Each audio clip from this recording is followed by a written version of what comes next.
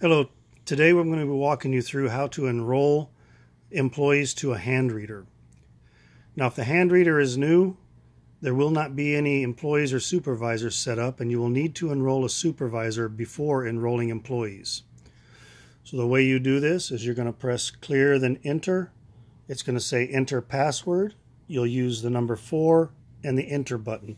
Now you need to be quick with these two steps because it will time out quickly uh, if you don't.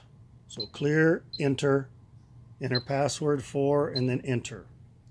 That brings us to our screen, add employee. No, at this time we're going to add a supervisor first.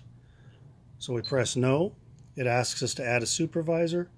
We're going to press yes.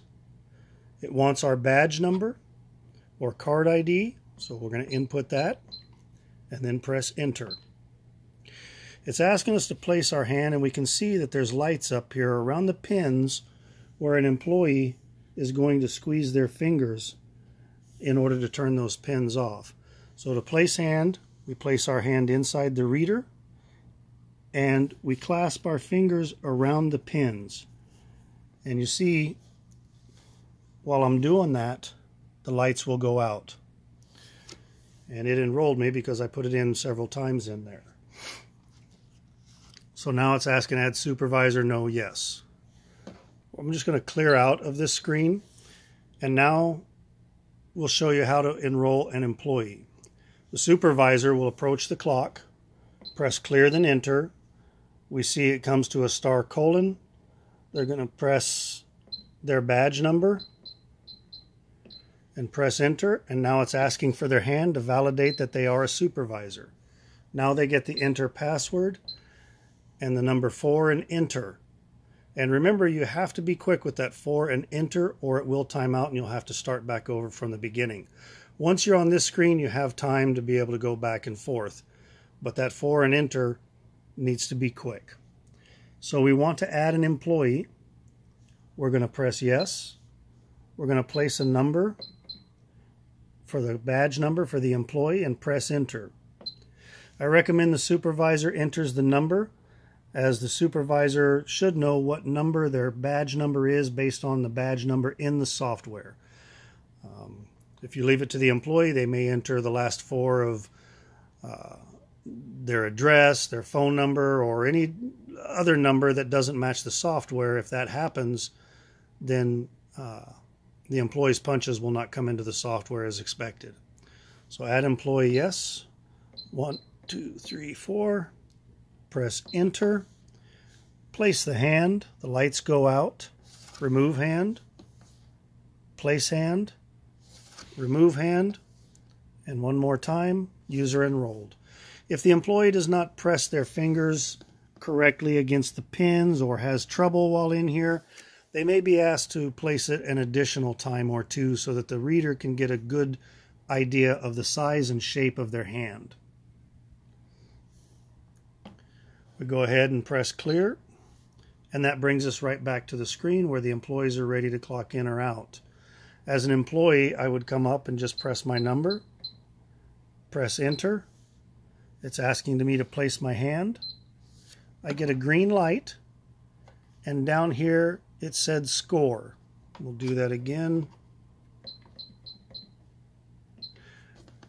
Place hand. Score is 2 because the employees typically watch a display rather than any lights, uh, it's important to note that if they do get score, then that is an indicator that the clock accepted their punch. Uh, the number that you see, on that case I had a number 2, that number it presents is how well the hand matches up to the template on file. The lower number, the better, is, is usually uh, what is best. That's the it means it's a closer match to the hand that's on file. This clock will recognize the day-to-day -day changes in employees' hands. Um, so as they're losing weight, gaining weight, things like that, uh, it stores that in memory and keeps that to make it easier for the employee to clock in and out without having to be re-enrolled. Now, if it comes up that you need to remove somebody, maybe they're putting their number and their hand in and it's not recognizing them. So we want to remove them from the clock. So we're going to put clear, then enter. Enter ID. We put our supervisor number in. We place our supervisor hand. Enter password. Again, the number four and enter. Add employee, no, yes. No, we don't want to add. Add supervisor, no, yes. No, we don't want to add a supervisor. Remove user. So right here, we're going to press yes. Remove ID number. One, two, three, four. Uh, if the clock was programmed to only have four digits, then this would immediately come back and say user removed, remove ID again. Uh, but it's basically removed the ID and it's asking, do you want to remove another? Uh, at this point, we do not, so we press clear and remove user no.